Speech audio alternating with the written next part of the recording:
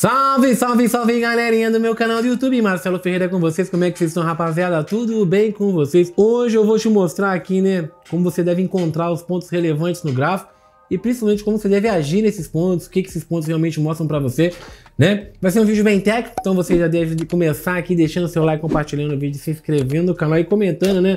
Ajuda o Marcelo, fecha o olho, escreve qualquer coisa no teclado aí, comenta para nós aí, ajuda a gente aí, pelo amor de Deus, principalmente se inscrevendo no canal, beleza? Então vamos que vamos.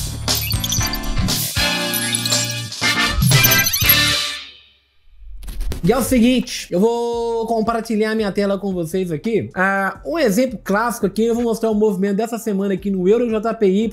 Como todo mundo sabe, né? Eu faço as minhas marcações na FiMate sempre pelo gráfico semanal e pelo gráfico M15, onde eu executo a minha ordem. A gente trabalha com gerenciamento aí de dois tempo gráfico. Eu posso trabalhar com gerenciamento de três tempo gráfico, enfim, quantos eu quiser. O básico aqui, né, a princípio é o gerenciamento de dois tempo gráfico. E o gráfico semanal, ele sempre me ajuda a entender quais são as regiões importantes que eu preciso encontrar no gráfico. E geralmente, como que eu faço isso? Jogando no gráfico semanal aqui, ó, eu procuro qualquer top fundo, qualquer região que eu acho relevante ali, gente, é fácil. Suporte é uma região relevante. Resistência é uma região relevante. Se você pegar esse suporte, a resistência que você encontrou ali e replicar ele até o preço, você vai ter várias regiões relevantes. Se você fatiar, igual eu ensino a galera dar uma fatiada no gráfico, você vai ter várias regiões importantes, várias regiões relevantes. Vamos dar uma olhada essa semana, né? Como por exemplo aqui o Shaw SD, aquela velona vermelha no gráfico semanal, foi a minha frequência, depois eu dei a fatiada ali, né? E eu encontrei ali as minhas regiões relevantes. O preço tá aqui agora, foi por isso que eu fatiei, ó, tá vendo? Porque as regiões relevantes tá aqui onde está o preço, né? Aqui embaixo tá limpinho, aqui em cima também porque eu não preciso fatiar, o preço não tá lá, eu não preciso me preocupar com isso. Então, da mesma forma, aquele estudo meu, esse estudo aqui é famoso, várias pessoas no Brasil já tatuaram ele. É um estudo que eu faço desde o ano passado, né? Um estudo bem famoso no Shaw SD. Quem me conhece aqui já tá cansado de ver esse estudo. E a cada semana a gente desbrava isso aqui. É muito gostoso estar operando essa marcação, né? Então eu costumo dizer, encontrou a sua marcação, casa com ela, entendeu? A sua marcação de semanal encontrou, fica com ela aí por bastante tempo. Vai trabalhando ela. Então, por exemplo, aqui no EuroJPY, eu tenho uma marcação que eu puxo aqui de baixo, tá vendo? Ela é menos conhecida que o Shaw Porque a galera vê mais eu postar Shaw USD, né? Mas eu acabo também operando outras paridades e tal. Hoje em dia eu tô operando um pouquinho mais outras paridades. Essa marcação minha aqui do, do Euro JPY, como vocês podem perceber, ó, topo, fundo e repliquei o canal, tá vendo?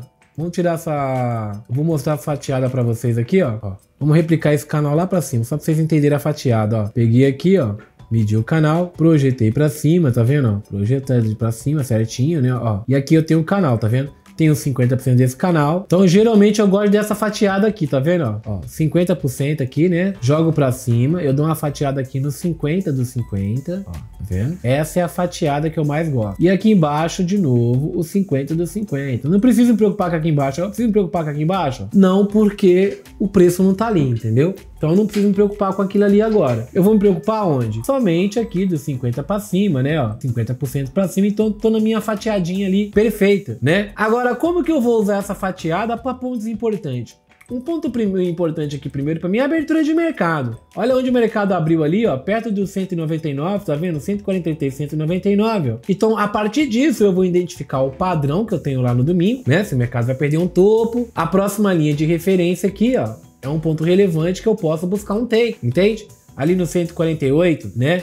E isso eu tô falando semanal ainda. Lá no 157, ó, é onde hoje é quarta-feira, eu tô gravando esse vídeo numa quarta, numa quinta, eu tô gravando esse vídeo numa quinta. Quinta-feira o mercado já chegou no segundo nível, é sinal que eu tenho que tirar a mão e a tendência tá chegando ao fim. Então eu utilizo isso para entender até onde eu, pode, eu posso ir naquela semana e até onde o mercado buscou e onde ele pode começar a querer virar ali, entendeu? Porque tá chegando no final de semana, o mercado pode corrigir um pouquinho mais, né? Já foi demais. Então vamos olhar esse movimento desde o 199 né? Passando pelo 148 até o 157, tá? A gente começou aqui perto de 143,199, né? Vamos dar uma olhada para esse no semanal. Olha onde o mercado abriu aqui, ó.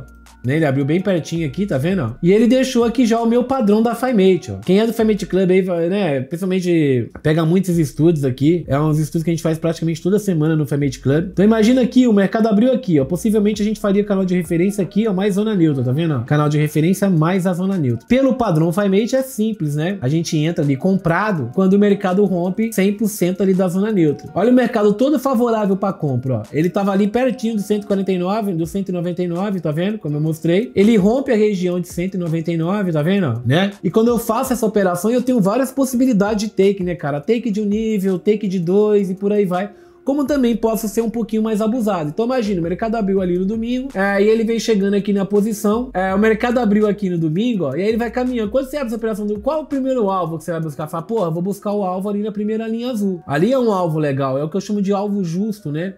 Então é uma região relevante, tá vendo? É um ponto que você tem que entender que ali, porra, o mercado ali tende a buscar aquela região. Ele rompeu a região, a gente continua com força compradora. Essa região aqui no 148, ela passa a ser um mapa para mim do seguinte: porra, a partir de agora eu paro de pensar em venda. Essa semana agora eu só penso em compra. Quando o mercado voltar para baixo de 148, dependendo do dia da semana, eu falo, porra, aí eu posso pensar em venda, né? Agora ele tá chegando aqui quase no 157, tá vendo? É um sinal que eu falo, porra, eu já perdi compra lá embaixo, perdi compra aqui embaixo e perdi. E por que que eu vou comprar aqui em cima agora já no final da semana? Já é sinal para largar a semana, entendeu? Parar de operar, largar a semana e por aí vai. Então a gente tem que interpretar isso toda semana para ver se vale a pena você continuar na operação ou não. Então, dá uma olhada aqui, ó, o comecinho da semana, mercado, olha a linha aqui, ó, olha o ponto relevante aqui que eu chamo de linha de Equador, né? 143, 199, mercado abriu acima. Ele, a gente não tá pensando em venda. O mercado abriu acima ali, a gente só vai pensar em venda de 199 para baixo. Então, você tá muito tranquilo para ficar pensando só em compra. Rompeu o topo, comprou, chegou no ponto, né? Ainda é terça-feira, quarta-feira, quinta-feira tá chegando por aqui, ó. Já subiu demais. Tá perto demais da linha ali, da máxima expansão. Já subiu demais. E aqui é o nosso mapeamento para pensar em venda. Então você pensa, pô, chegou numa região ali que eu nem compro e eu só vendo daqui para baixo. Então eu não vendo. Ah, mas, mas eu não posso traçar um canal de referência em zona neutra aqui para vender? Pode.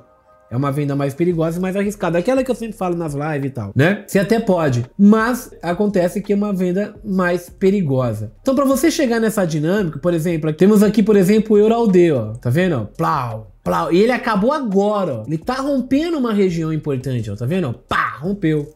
Lá no M15 já deu entrada, e uma bela entrada, tá vendo? Já uma entrada no M15 de 1.700 pontos. Olha aqui um pedacinho que você olha no semanal, ó, só uma cabecinha da vela, tá vendo? Um pedacinho que você não acha que é nada, ó. Lá no M15 já deu entrada e já deu pra você travar no 0 a 0 tá vendo? É o canal de referência, né? Zona neutra aqui para baixo, já rompeu e já deu para travar no 0 a 0 quando rompeu 100% do subciclo, já pode travar no 0 a 0 Então, um grande macetinho que eu tenho aqui, né, para traçar e encontrar essas boas regiões é o seguinte, ó, sempre colocar no gráfico semanal, pegar a paridade que você quer operar, escolher um canal ali que você queira replicar ele, que você queira trabalhar, fala, pô, essa expansão tá bonita e eu vou trabalhar com essa expansão a partir de hoje, tá vendo, ó? Pegou aquela expansão que você quer trabalhar, dá aquela fatiada até o preço, tá vendo, ó? Dá aquela fatiada até embaixo, né? Para ele chegar no. Porque o preço tá corrigindo um pouquinho, né? Ó. O preço tá aqui, ó. Então fatia até aqui, ó. ó dá, aqui, vai descendo o gráfico. Ó. Encontrou aquele canal, desce o gráfico. Ó, desce até aqui. E onde tá o preço, ó, você dá aquela fatiada, ó. Tá vendo? 50%, 50%, os 50 dos 50 ali, né? E quem sabe uns 50 dos 50 aqui para baixo, tá vendo? Pronto. Você já vai ter grandes regiões para se operar, ó joga no M15, ó, e voa lá. Olha o mercado já testando essas regiões, ó. E aí é pau no gato, né? Já tem umas marcações aqui marcadas, ó, bonitinho, ó. Só vim aqui agora, né, ó, traçar um canalzinho de referência, tá vendo? Uma zona neutra e seguir a regra FiMate. Rompeu o fundo, vende, continuação de tendência, buscando 65, 842. Ah, vai romper aqui, uma operação perigosa. Você pode mapear essa região. Quando ele for daqui para cima, eu volto a pensar em compra. Entende? Então a gente tem aí bons pontos de relevância de forma simples, né? Você pode encontrar os seus pontos de negociação aí. Beleza? Deixa o like aí no vídeo, pô, compartilha o vídeo com nós, se inscreve no canal, deixa, comenta aí pra nós aí, tô te ajudando demais. Eu tenho certeza que esses vídeos aqui são mais tempo do que qualquer curso pago no Brasil, então já se inscreve no nosso canal aí, valeu? Vamos que vamos. Tem.